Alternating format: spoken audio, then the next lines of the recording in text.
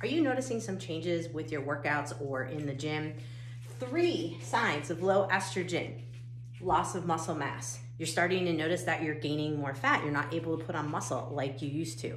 That is definitely a low estrogen thing.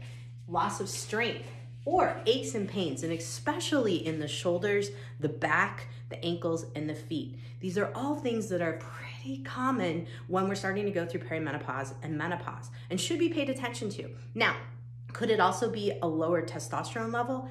Absolutely. Why? Because testosterone actually converts to estrogen in the body, and this can be something that could be a factor as well. The more fatigued you are, the more that you just are burning the candle at both ends, not sleeping, going into perimenopause and menopause, the more you're gonna struggle to make hormones naturally. So, the better you can keep your body functioning to create hormones, the better things will turn out. But if you're starting to notice these things, it's time to work on getting your gut bugs balanced in your gut, getting your six cups of veggies in a day. Also, looking at are you getting in enough protein to help your body to make estrogen?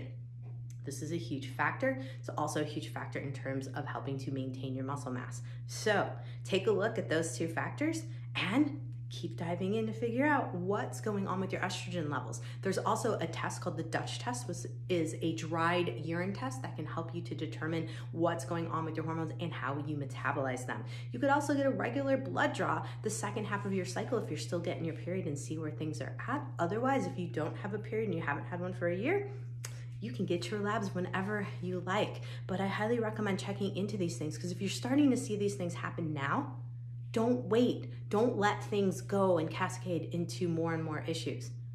Get things taken care of so that these aches and pains don't cause you trouble later on.